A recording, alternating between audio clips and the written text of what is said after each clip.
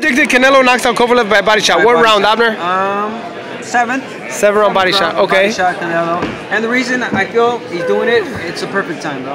He's smart. His team is smart. He's doing it at the at the time where you know it should be done, bro. And you know I can't wait for that. I gotta ask you this. There's a lot of talk of Manny Pacquiao maybe fighting Mikey, maybe Uh-huh. fighting Danny, or maybe fighting the winner of this fight.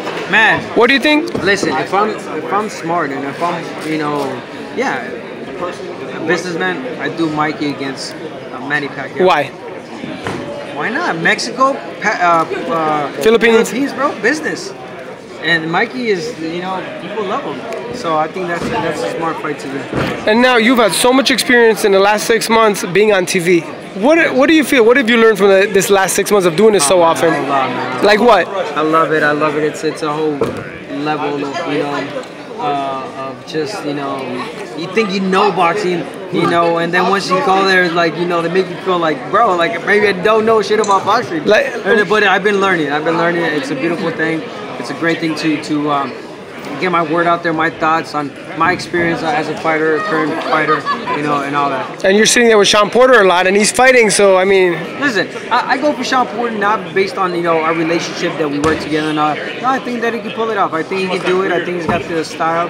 I think he's got the uh, experience, and you know he's, he's, he's a great fighter. Andy Ruiz Joshua rematch in Saudi Arabia. Are you going to the fight? I'm going to the fight. How would it be for you? First time in Saudi Arabia? First time, bro. Are you going?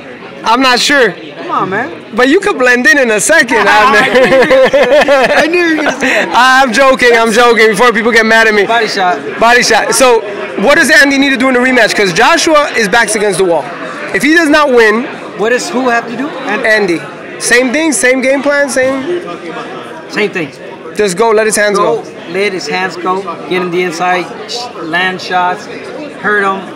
That's all, bro. Now, Joshua's losing weight, trying to be slimmer, and move more.